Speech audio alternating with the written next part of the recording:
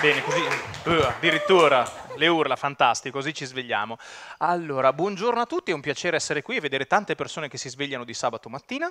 Uh, io mi chiamo Piero e nella vita faccio il project manager. Se qualcuno vuole essere proprio fiscale, mi occupo di, soprattutto di Agile and Lean, project management, e mi occupo di progetti di marketing e comunicazione ho un passato anche nell'ingegneria, ma sto cercando di smettere con il metadone, l'aiuto in terapista, quindi in realtà ne sto uscendo un po' alla volta. È possibile, lo dico anche a voi. Sì, sì, sì, sì. Mezzo uomo, mezzo ingegnere, una cosa tremenda comunque. Uh, faccio cose, vedo gente, lavoro con le persone. E uh, come avrete capito, cosa fai per vivere? Il project manager. Il project manager, se qualcuno di voi ha mai lavorato su progetti, che immagino abbiate fatto, sapete che è bellissimo, giusto? No. In realtà è quella cosa che ti dà da mangiare ma che genera frustrazione mediamente. All'inizio è tutto meraviglioso, che bello un nuovo progetto, lanciamo un nuovo e-commerce, un nuovo sito, e poi un po' alla volta, mentre vai avanti, il cliente cambia idea, i membri del team cambiano idea, le persone litigano, ti rendi conto che... Eh, forse gestire un progetto non è la cosa più bella del mondo.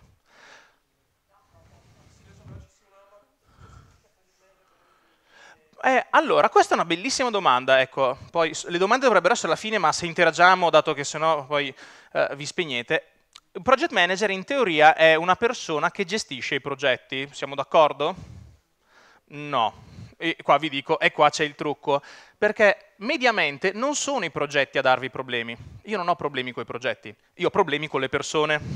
Quindi in realtà non gestisci mai i progetti, ma gestisci le persone che fanno il progetto. A volte possono essere i membri del team, a volte possono essere i clienti. Quindi in realtà se volete project manager è un titolo illusorio, cioè faccio il mio Gantt e il progetto andrà bene, funziona così no? O meno rispettate il Gantt, santo cielo. Però sappiate che eh, la buona notizia che posso darvi è nessuno rispetta i Gantt, o meglio, tutte le statistiche dicono che l'85 dei progetti sono consegnati so, fuori budget, fuori tempo, cambiando gli obiettivi. Quindi viviamolo anche bene, non è un problema vostro, è un problema dei progetti. E oggi sostanzialmente vorrei anche raccontarvi di come mitigare questo problema, perché non è risolvibile, parlandovi proprio di che cosa succede con i team e con che cosa fare per risolvere questo problema.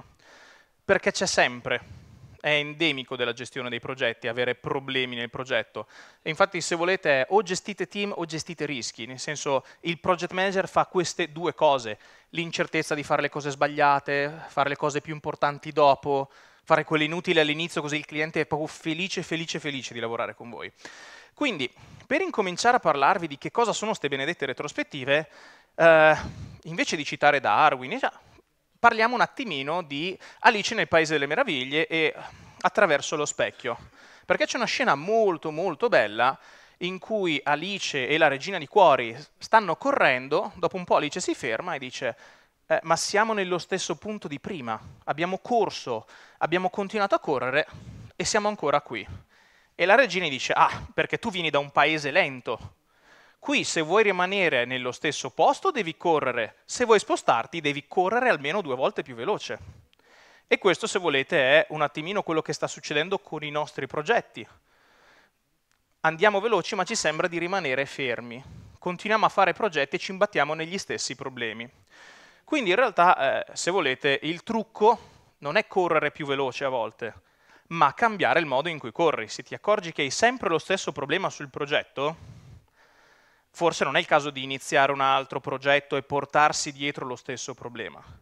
Forse è il caso di fermarsi a riflettere. Questo, se volete, è un attimino eh, una grandissima scoperta insieme all'acqua eh, bagna e con il sole ti asciughi.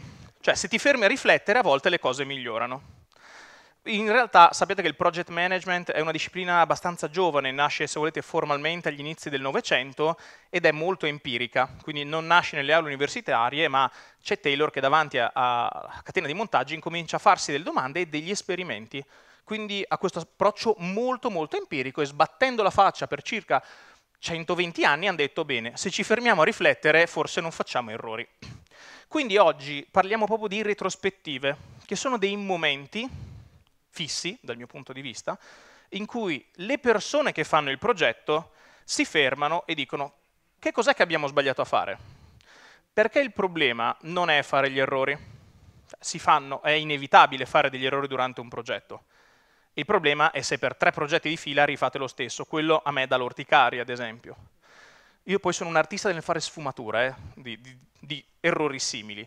Però l'idea è, quando commettiamo un errore, fermiamoci, capiamo perché è successo, che attenzione non è dare, è stata lei.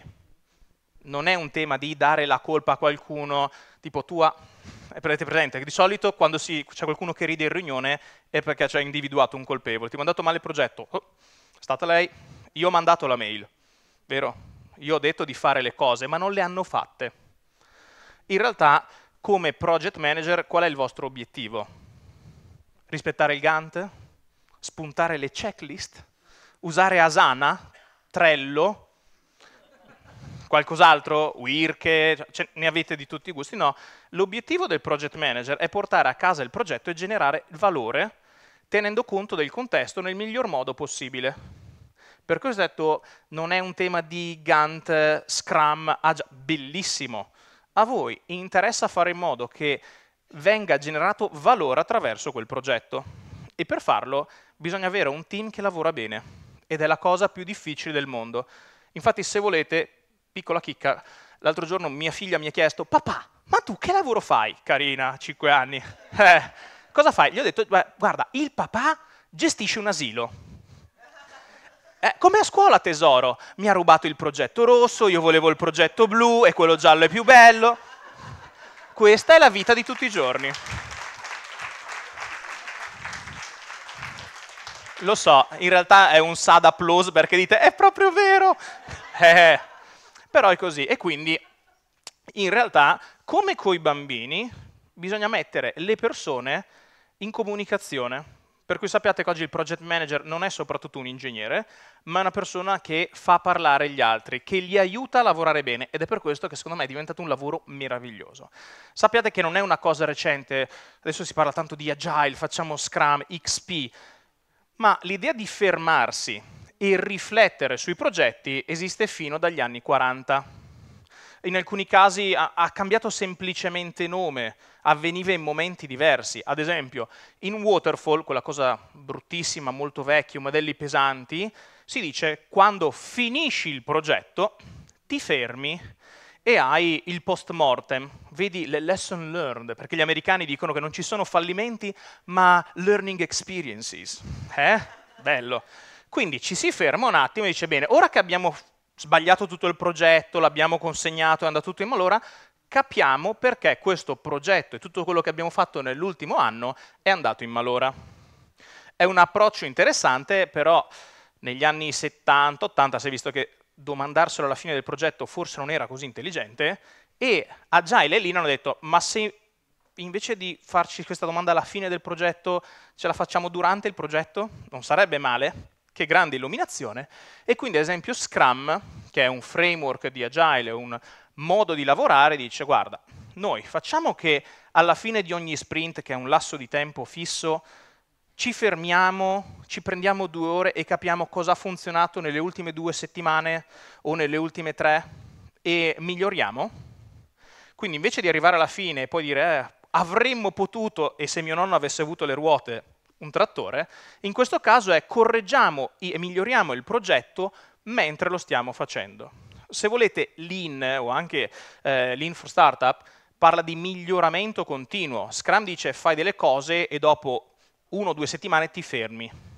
Lean è non aspettare due settimane, se vedi un problema ferma tutto e risolvilo che non è mai risolvi il problema, ma capisci perché quel problema si è verificato, altrimenti continuate a mettere delle pezze. Mettere delle pezze non è risolvere il problema. Quindi, vedete che fin dall'inizio del project management questa cosa è interiorizzata e ci sono un sacco di vignette che ironizzano su questa cosa. Avete presente la bicicletta con le ruote quadrate, uno che porta la ruota e dice no guarda sono troppo occupato per migliorare. Questa però è la nostra vita, eh? nel senso agenzie di comunicazione, non esattamente un posto tranquillo. Eh, che cosa si fa quando finisce un progetto? Sotto un altro, è molto se volete tempi moderni di Chaplin, cioè vai, vai e fattura milanese imbruttito. Quindi in realtà eh, lavoro a Milano anche, quindi in realtà ormai fatturato eccetera fanno parte purtroppo della mia indole. Quindi in realtà però fermarsi è quello che vi consente di lavorare meglio. Ma ci sono delle scappate? No. Se volete lavorare meglio vi dovete fermare un attimo a riflettere, perché altrimenti reiteriamo gli stessi errori, ma non solamente noi, ribadisco, è il team che magari commette gli stessi errori. E se volete vi posso anche raccontare di tutta una serie clamorosa di fallimenti che ho vissuto con il team. Quindi questa mattina, oltre a spiegarvi che cos'è e perché è importante, eh, cercherò di darvi qualche strumento per fare queste benedette retrospettive. E poi vedremo anche quali sono i limiti di questi strumenti. Innanzitutto, perché si fanno le retrospettive? Come con i progetti Qual è il problema dei progetti? Sapete qual è il motivo principale del fallimento dei progetti? Dai, buttatevi, so che è sabato, però. Perché i progetti falliscono? Non c'è una strategia sotto? Non c'è comunicazione? Quella è la seconda? In realtà l'obiettivo non era chiaro, quindi anche qui la prima cosa importante da chiarire alle persone che partecipano a questa retrospettiva è perché state partecipando a questa riunione? Perché le riunioni sono una cosa frustrante oggigiorno. Cosa succede in riunione? Metà delle persone non capiscono perché sono lì. Devo venire, boh, apro il computer e lavoro malissimo. Quindi in realtà l'obiettivo di queste riunioni deve essere chiaro alle persone, perché se capiscono perché parteciperanno a questa retrospettiva potranno portare il loro contributo. Quindi non è il project manager che dice voi, retrospettiva e ditemi cosa avete sbagliato, ma team, ci fermiamo un attimo per capire come migliorare? Quindi in alcuni casi si possono invitare addirittura i clienti, perché se ad esempio l'obiettivo non è chiaro, ad esempio si sbagliano le stime. Le stime sono sempre giuste, eh? nel senso sono una scommessa, c'è dell'incertezza, ma a me piace sempre fare questo esempio. Eh, quanto ci metto da Verona col Frecciarossa andare a Milano, più o meno, ritardi esclusi, eccetera? Un'ora e mezza, due. Eh, sono andato a Trieste e ce ne ho messe quattro. Tu mi guardi e dici, mi hai chiesto Milano, sei andato a Trieste. La, mia, la sua stima era giusta, ma se l'obiettivo si sposta, è ovvio che la stima era giusta e sbagliata al tempo stesso. Quindi, punto uno, spiegate alle persone che coinvolgete in questa riunione perché siete lì quindi, che cosa si fa in una retrospettiva? Ma quello che si fa in una qualunque riunione, vero? Si definisce un'agenda precisa, con dei tempi, in modo da poter dire eventualmente è molto interessante, ma non è in tema.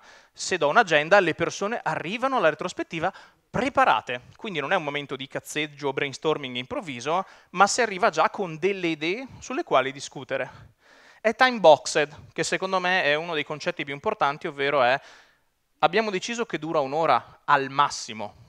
Bene, al 61 minuto è comunque chiusa. Eh, ma sarebbe molto... Non importa, ci siamo dati un tempo e una disciplina, anche questo vuol dire aiutare il team a rispettare le tempistiche. L'ultimo elemento è, ci sono delle regole. Ormai avete capito, è il project manager che definisce le regole? No, Piero, non è più come sulle galere romane dove il project manager è quello che batte i tamburi, ma se è il team a darsi delle regole, è il team che a un certo punto chiede scusa, ma se vi siete dati questa regola voi, perché non la state rispettando? Quindi se volete il project manager è molto più un allenatore che aiuta le persone a definire delle regole di team.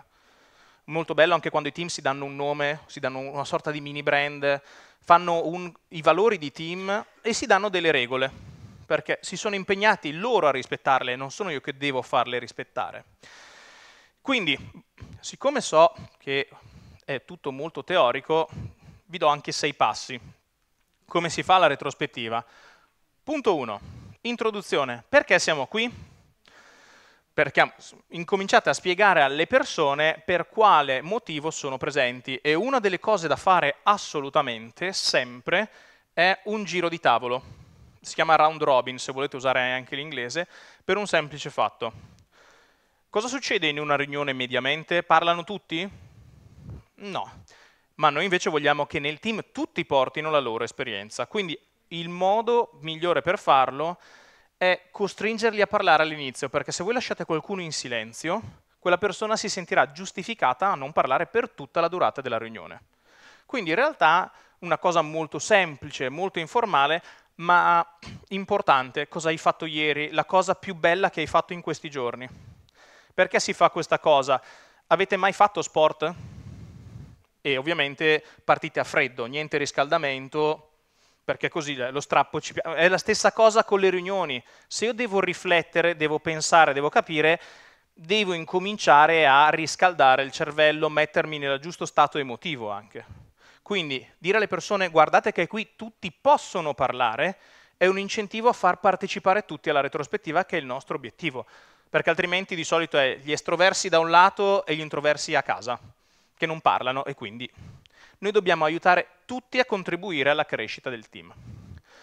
Punto 2, bene, che cos'è che dovevamo fare? Perché magari scopriamo che l'obiettivo non era chiaro scopriamo che eh, c'era qualcosa che è sfuggito e incominciamo forse a capire che alla prossima retrospettiva dovrà partecipare il cliente perché se lui mi dice vorrei un e-commerce, mi fai una stima, un budget? Certo, tra zero e infinito guarda che potrei consegnartelo. Quindi in realtà a volte anche far aiutare il cliente, se volete appunto è molto vicino alla maestra d'asilo ma anche al terapista, dai cliente vieni che ti accompagno verso la consapevolezza interiore. Quindi lo aiutate e cercate di capire cosa non sta funzionando. Per capire cosa non funziona però vi servono i dati, quindi è, abbiamo avuto questa intuizione che qua ci sia un problema, bene, vediamo cosa ci dicono i numeri. Abbiamo sbagliato di quanto, abbiamo raccolto delle cose, abbiamo rifatto 77 volte la stessa richiesta perché non l'avevamo capita. Io ho appena rifatto 14 volte una vetrofania e 32 un biglietto d'auguri. Perché? È perché il cliente non si era espresso chiaramente. E quindi? Eh sai, ho pensato di rifarlo finché non mi ha detto ok. Tipo alzare il telefono e digli, digli cosa vuoi la prima volta? È una grande idea, la prossima volta lo farò. No, questa è settimana scorsa, eh, quindi non pensate siano storie così. Dopo che ho raccolto i dati, cosa faccio?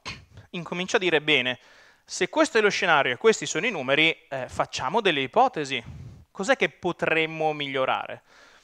Potremmo fare questo, questo, questo, potremmo usare il telefono, chiamare delle persone, chiedere al cliente di venire qua una volta a settimana e poi ne scegliete una. Perché se incominciate a aprire 270 cose non ne chiudete neanche una. Anche qui deve essere una cosa concreta, misurabile e che sviluppate il giorno dopo. Quando tornate al lavoro, quella cosa lì ve la appendete, mettete davanti agli occhi e andate. Quindi, deciso cosa fare, si ringrazia i partecipanti, perché si ringrazia sempre a fine di una riunione per il contributo, ovviamente. Si chiude, bella mail di recap, come direbbe l'imbruttito, e si procede. Quindi, ice breaking, giochi, fate giocare le persone all'inizio. Perché si usa tanto il Lego Serious Play o altri metodi? Perché se le persone entrano nel giusto, diciamo, nel giusto stato creativo, possono contribuire. E qui, se volete, è una, è ambiente, mm, il tema dell'ambiente è fondamentale le persone di solito a queste riunioni le prime volte cercano il colpevole e invece bisogna dire che insomma bisogna imparare a fare le critiche, quindi non sei un ritardatario, ma è arrivato il documento in ritardo, un, io critico il lavoro, non la persona. Quindi c'è tutto un momento in cui spiegare alle persone come criticare e fare i complimenti ai colleghi. È una cosa bellissima chiedere alle persone fai un complimento a un collega, vedi la gente che diventa viola. E se fate un altro esperimento altrettanto divertente, ma con attenzione, critica il collega. Allora, non è il tuo caso, eh? Però, ad esempio, tutte le volte e incominciano delle robe assassine tipo la valanga di pietre, quindi è non vorrei dirtelo, non è il tuo caso e poi partono, quindi è quel conflitto latente che c'è sempre nei team e che noi dobbiamo aiutare a risolvere. Che domande posso fare all'interno di una retrospettiva? Beh, innanzitutto gestiamo progetti, saranno legate al progetto, quindi non cosa hai fatto ieri, come è andata la maratona, però chiediamo al team dal vostro punto di vista come è andato il progetto, perché anche qui le percezioni possono essere diverse. Ad esempio, l'altro giorno ho chiesto a un membro del team di mandare una newsletter. È arrivata a tutti con FNAME, invece che ciao Piero eh, le metto, beh è andata bene, l'hanno aperta in tanti. Sì, L'open rate è andato anche interessante, dal, mio, dal, suo punto di vista, ha guardato solo i numeri, se ne è fregata altamente del fatto che fosse la variabile sbagliata, è andata molto bene. Dal mio punto di vista avevo appunto la morte nel cuore, perché ho detto, cavolo, sì, open rate straordinario di figure di palta. Quindi in realtà, vedete, le persone hanno punti di vista diversi sul progetto, perché magari vedono solamente il loro angolino. Quindi incominciare a dire ma condividiamo come è andata sul progetto, a questo punto scopro che il mio collega ha una percezione completamente diversa dalla mia. L'altro aspetto è che cosa è andato storto, che non vuol dire chi ha sbagliato, sottolineiamo questa cosa, non lei ha mandato la variabile non corretta, no, è successa questa cosa. E anche lì capire quali sono i problemi fondamentali e poi anche cos'è che è andato bene perché il tema non è solo correggere gli errori, ma se scopriamo che chiamando il cliente risolviamo il problema sulle stime, siamo più veloci, facciamo meno errori, invece di farlo una volta ogni tanto, facciamolo sempre. Quindi la retrospettiva è un momento in cui scopriamo cosa funziona bene e cosa non funziona. E è una cosa che dovete fare voi e con il vostro team. Eh? Non è che vi posso dire non funzionano A, B, C, D ogni team, ogni persona, ogni progetto sono a sé, anche perché dipende molto dalla cultura aziendale. Quindi, com'è che si fa a fare questa cosa? Qui normalmente viene in aiuto l'altro mio figlio che ha tre anni, al momento è piacevolissimo, perché io ho detto, ha consegnato in ritardo, oppure ha mandato la mail con la variabile non corretta. Perché? Perché è distratta. Questa è la risposta di superficie e noi non vogliamo fare questa cosa e da qui capite perché mio figlio è un maestro di questa tecnica, perché continua a chiederti perché? È perché sei un bambino, perché?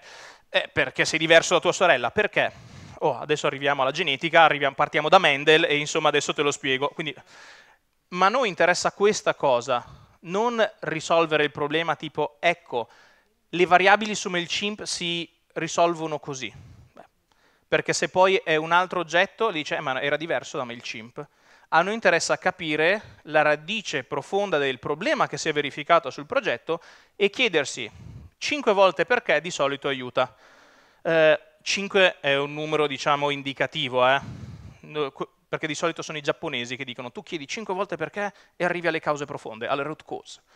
Funziona abbastanza bene. Alla quinta volta che chiedete perché è consegnato in ritardo, è questo, perché, perché, perché, vedrete che arriverete più o meno a scoprire le ragioni profonde sono quelle che dovete risolvere, perché altrimenti continuate a lavorare in superficie, ma il problema si presenterà in molte sue forme. Altro strumento che io adoro si chiama lo Starfish, la stella marina, perché è uno strumento uh, molto semplice dall'apparenza, molto bellino e che richiede tecnologia molto molto bassa, perché voi prendete un foglio di qua, carta, pennarelli, fate una sorta appunto di striscia, dividete lo spazio in cinque quadranti, vedete che all'inizio qua in mezzo c'è tipo quella stella lì, stella marina, da cui il nome, e con dei post-it chiedete ai membri del team di lavorare tre minuti sulle cose che dobbiamo smettere di fare. Stop, cioè queste cose non dobbiamo più farle.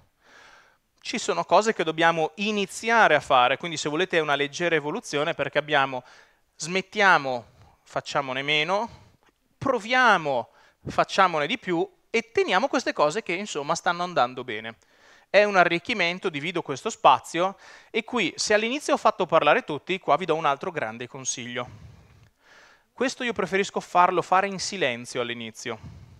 Post-it 3-5 minuti a seconda di quante persone avete del livello del team e gli chiedete, bene, 3 minuti tutti zitti, scrivete quelle che secondo voi sono le cose da tenere. Perché glielo facciamo fare in silenzio? Perché di solito è il primo che parla, tutti gli altri dicono eh sì, è proprio quella cosa e avrete subito il grande cluster. In realtà a noi interessa avere la sensazione di ogni persona. È il motivo anche per cui quando c'è un manager faccio lavorare coi posti, perché sennò il manager dice dobbiamo fare questo e tutti dobbiamo proprio fare quello. E vedi, le teste cambiano ma stanno zitti, quindi fateli lavorare in silenzio in modo che non si influenzino a vicenda. Questo molto semplice, un foglio di carta, una lavagna, si scrivono le cose e si scelgono tutte? No Piero, abbiamo capito il concetto, se ne scegli una alla volta, proviamo a metterne una in stop, una in less, in keep tutte invece, possibilmente anche tipo sviluppare fare il progetto, se ne fate meno poi non fatturate, start and more, ne scegliete una, quindi fate un esperimento per le aree di cambiamento. Altra cosa bellissima è la 3. I giapponesi hanno molta fantasia, secondo voi perché si chiama A3? Perché è un foglio A3, grandi! Se era più piccolo come si sarebbe chiamato? Fantastico, avete già colto la logica della 3 reporting, della 4 reporting, della 5 reporting. Eh, che cos'è? È un foglio di carta, perché, ma si può fare anche digital, certo, ma di carta è meglio, perché lontano dagli occhi, lontano dal cuore. Foglio di carta ve lo mettete lì davanti a voi e non potete scappare da questa cosa. È diviso, se volete, in sette spazi e ricorda un altro bellissimo modello, che è il Plan Do Check Act, quello che si chiama il ciclo di Deming. Plan. Che cosa è successo? siamo, ci occupiamo di sviluppo software, dobbiamo fare un e-commerce. Situazione corrente, l'e-commerce che abbiamo fatto non funziona, ha tutti questi problemi, vedete che cos'è esattamente che non funziona secondo voi e vi date un obiettivo. Far andare online la pagina carrello, migliorare la CRO, quello che volete, e selezionate diciamo, quelle che potrebbero essere le ragioni alla base dell'errore. Quindi questa è una pagina di analisi della situazione corrente e poi di qua dite bene, se questa è la situazione, questo è l'obiettivo e questa è l'analisi che ho fatto, che cos'è che implemento come contromisure e che cos'è che faccio pro- da domani? A, B e C. Mi aspetto questa cosa, dopo un mese dico bene, quali sono i risultati? Perché ovviamente bisogna sempre verificare se quello che avevate in mente ha funzionato. E infatti plan, do, check, act. Vedo cosa sta succedendo, mi metto degli obiettivi che come sempre sono misurabili, concreti, non voglio vendere di più. Bravo, anch'io, tutti, però come, quanto, di cosa, plan, concreto, cosa potrei fare, controllo, prendo delle contromisure e agisco. Quindi, attenzione, che quindi Piero ci ha detto che l'acqua è bagnata, il sole scalda, quindi io da domani faccio lo starfish e funziona tutto, vero? No, perché in realtà sappiate che questo è uno dei problemi più importanti, ovvero questi sono strumenti, ma non è mai un problema di strumenti. Mi ha rubato il progetto giallo e eh, se ti davo il progetto rosso funzionava meglio? Ah, guarda, avessi avuto il progetto rosso facevo delle cose Bene, non ce l'hai e anche se ce l'avessi avuto ti assicuro le cose sarebbero andate male, perché normalmente è un problema di filosofia, soprattutto se lavorate in azienda.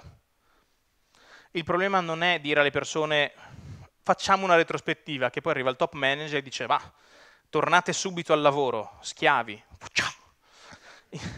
In realtà beh, funziona ancora così, eh? avete mai lavorato con aziende tipo del Veneto? Tipo, Succede, ci sono quelle illuminate con il paron, quello che ha una visione quasi olivettiana, c'è quello che dice bello consulente, però si fa come dico io. Quindi in realtà è un po' difficile. Però attenzione che gli strumenti sono una conseguenza, se io voglio migliorare, a quel punto mi fermo. È come dire, eh, voglio capire se manteniamo marginalità sui progetti. Bene, allora tutti fanno il consuntivo delle ore. Sì, ma i commerciali no. Perché no? È perché sono miei amici e quindi eh, fanno fatica. Eh, ma se non rendi contano loro, fai capire al team che non è importante, la gente rendi conta male, scene di vita vissuta. Quindi in realtà non è mai un problema di strumenti. Le retrospettive, se volete, sono qua in alto. Sotto c'è la filosofia e il voler lavorare bene è una caratteristica non di uno strumento, ma di una cultura aziendale. Il fatto di fermarsi a riflettere è una cultura aziendale. Per questo si dice, si parla tanto di lean oggi, perché lean non è un modo di lavorare, parte dal management. Pensate a dire a un project manager di vecchio stampo, no, fermiamoci perché non stiamo capendo qualcosa. E avrò detto, beh guarda, sul Gantt mi hai scritto questo, mi spiace moltissimo, continuo a lavorare. L'idea invece è creare un ambiente, non uno strumento, un ambiente dove le persone anche alzano la mano. Non ho capito. E se volete, questo è uno dei miei punti di forza, ovvero vi dico, Steven Seagal ha fatto anche cose buone. Si intrappola mh, sulle montagne rocciose, che è uno dei classici film di Steven Seagal dove c'è un buono, c'è un cattivo, botte per 45 minuti, tutti a casa, eh, a un certo punto lui è su un treno e sostanzialmente uno dei soldati pensa di averlo ucciso, va dal capo e dice bene, ho ucciso Steven Seagal. E il capo gli dice hai controllato? No. Sberlone e la frase è vai a controllare perché la supposizione è la madre di tutte le cazzate. Quindi anche qui, sì, ma infatti dico Steven Seagal, bravo, una l'hai azzeccata, questa battuta del film funziona, perché se ci pensate è qui. Le persone non vi fanno domande perché hanno paura a chiedere. Chiamo il cliente, ma no dai, probabilmente avrà inteso questo. Supposizione, supposizione, abbiamo detto, ha una conseguenza. Quindi è un tema di cultura. Se però mi hanno detto non fare domande, vai veloce, dobbiamo deliverare. Hai fatto il brief, delivera, che poi facciamo l'invoice. Facciamo tutto così. Però l'idea è questa, bisogna come project manager creare una situazione prima all'interno del team e poi anche all'interno dell'azienda per dire guardate che se il team sta bene, olivettiana memoria, se le persone sono felici, probabilmente invece di fare un progetto che sarà un buco nell'acqua, vi fanno delle domande come il treno che va a Venezia e scopre che devi andare a Trieste. Sono due stime completamente diverse, quindi filosofia, lavorare sulle domande e solamente dopo fare le retrospettive, perché altrimenti poi vi trovate nel, nel mondo del eh, le retrospettive non funzionano, l'ho fatta e le persone non mi hanno detto che cosa potevamo migliorare. Bene. Surprise!